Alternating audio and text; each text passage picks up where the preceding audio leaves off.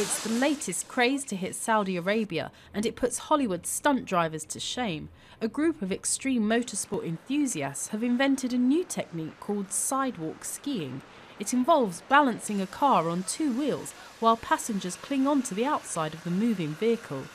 The drivers call themselves the Impossible Group, and their leader is Captain Impossible.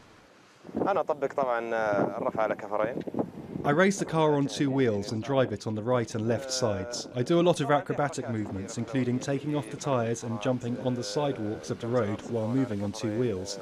Lots of things, really, with small and large cars. The group insists that their sport isn't dangerous. The movements are frankly exhilarating, creating happiness with little danger and creativity, and the audience enjoys it. It's possible to have minor accidents. Risk is involved in everything, but there's not much danger in this.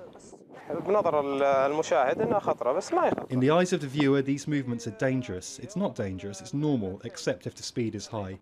There are dangers even if they're driving on four wheels, but when driving at the speed of 20, 30 or 40 kilometres an hour, and with the presence of the public, along with safety measures and support in place, it's quite safe.